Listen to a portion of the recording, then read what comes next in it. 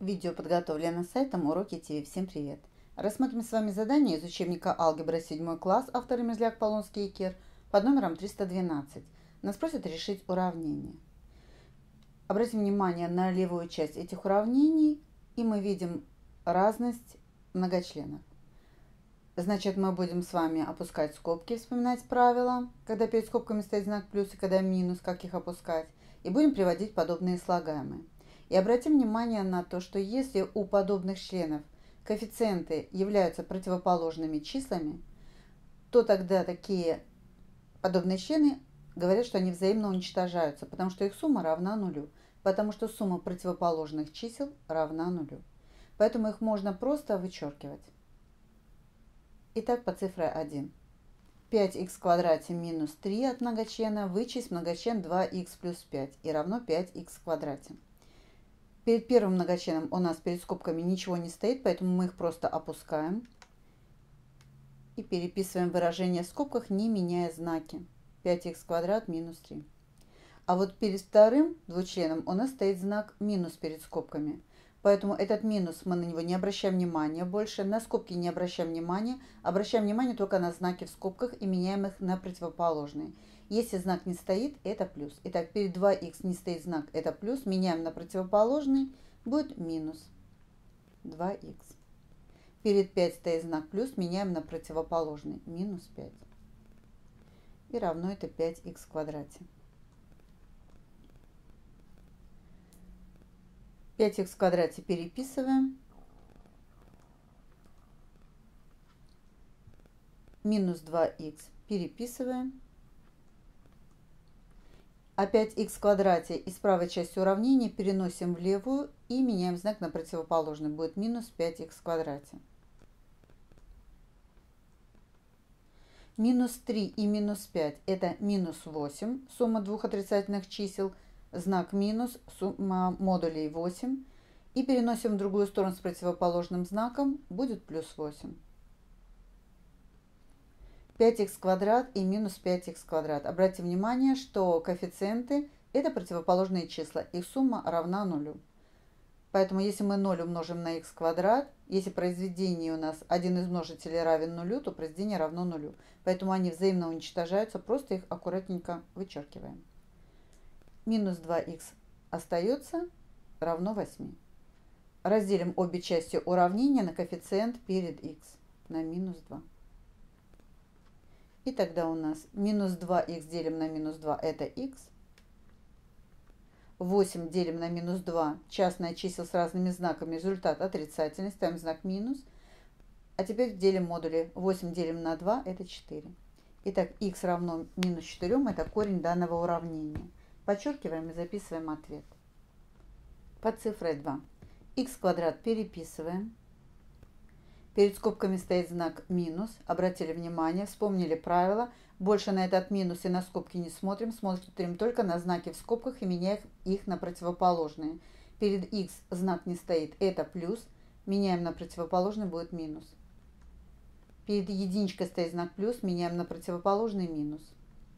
Опять перед скобками стоит знак минус. Вспомнили правило, на него не смотрим, на скобки не смотрим. Смотрим только на знаки в скобках и меняем их на противоположные будет минус х в квадрате плюс 7х и минус 32 и равно 3. Обратите внимание, х квадрат минус х квадрат. Коэффициенты 1 и минус 1, противоположные числа, сумма равна нулю, поэтому х квадрат минус х квадрат равно нулю. Зачеркиваем и говорим, что они взаимно уничтожаются. Минус х плюс 7х. Складываем коэффициенты минус 1 плюс 7 это 6. И дописываем буквенную часть х.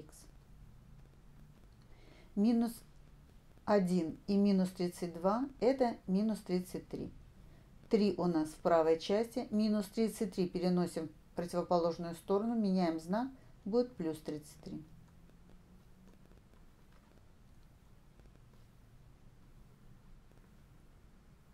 Тогда у нас 6х равно, к трем прибавляем 33, 36. И разделим обе части уравнения на коэффициент перед x. x равен 6. То что если мы 36 разделим на 6, мы получим 6. Подчеркиваем, записываем ответ. Третье уравнение. Раскрываем скобки в левой части. Перед первыми скобками знак не стоит. Это плюс, поэтому просто их опускаем. y в кубе плюс 3y минус 8.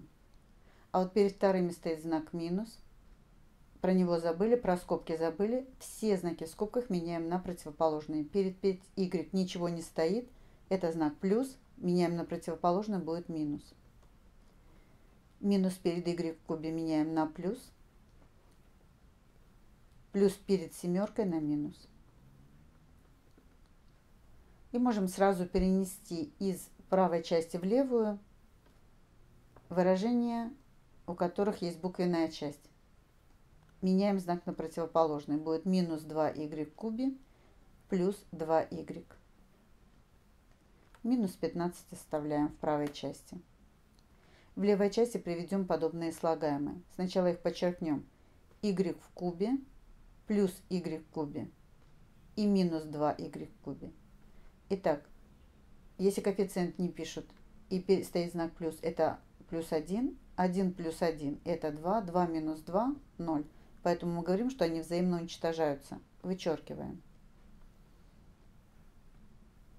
3y минус 5y и плюс 2y.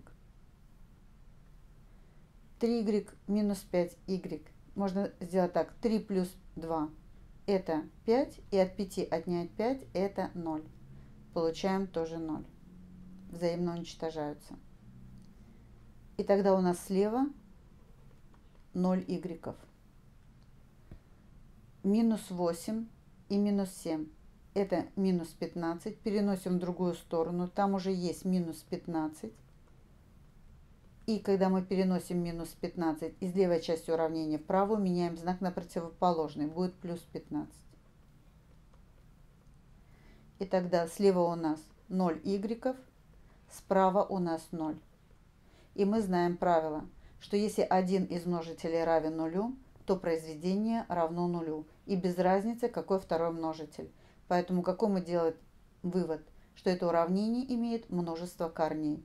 Любое число является корнем данного уравнения.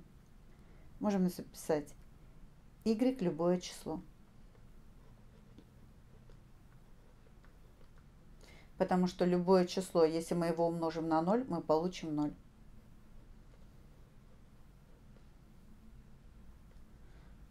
Можно записать множество корней.